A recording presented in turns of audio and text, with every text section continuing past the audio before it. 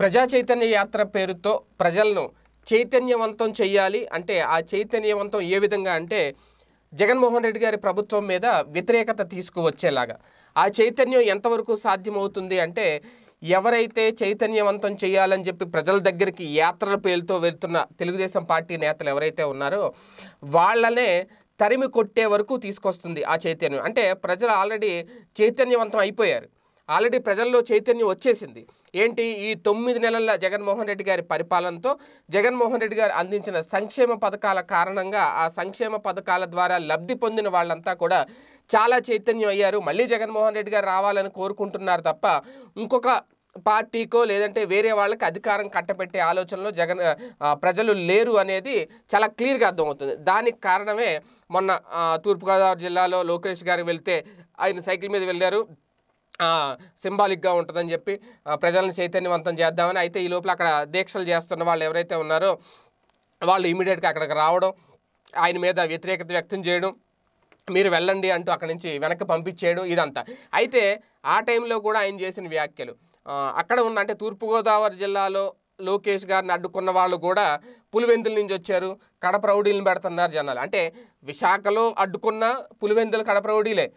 తూర్పుగోదావరి జిల్లాలో అడ్డుకున్న కడప రౌడీలే పులివెందుల రౌడీలే. అంటే ఇంక ఎక్కడ ఉన్నా పులివెందుల కడప పులివెందుల కడప. అంటే ఆయనకి వేరే ఏం మాట్లాడాలో తెలియక అలాంటి ఆరోపణలు చేస్తున్నారా? లేదంటే రాజకీయంగా జగన్మోహన్ రెడ్డి గారిని ఎదుర్కొనే అంత సత్తా లోకేష్ గారిలో లేదు అని చెప్పి ఆ మాటల వల్ల ప్రజలకు అర్థమైపోతుంది అనే విషయాన్ని ఆయన ఎందుకు గమనించట్లేదు అనేది ఇప్పుడు ప్రధానంగా రాజకీయ విమర్శకులు ప్రశ్నిస్తున్న ప్రశ్న. అయితే ఆ విషయం పక్కన పెడితే కనుక ఈ యాత్రల పేరుతో అంటే చంద్రబాబు గారిని విశాఖలో ఎలా అడ్డుకున్నారో మనం చూసాం.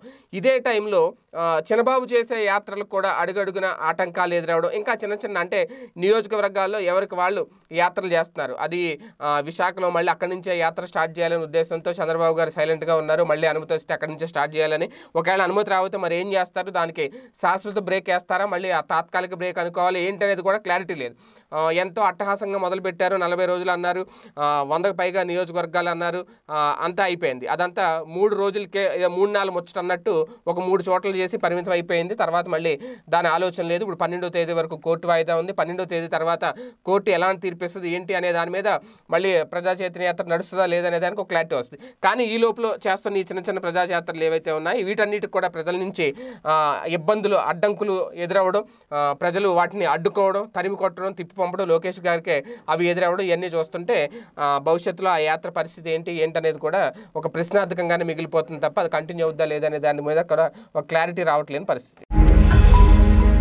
ఈ వీడియో గనుక మీకు నచ్చినట్లయితే లైక్ చేయండి షేర్ చేయండి. మరిన్ని వీడియోస్ కోసం మా ఛానల్ను సబ్స్క్రైబ్ చేయండి.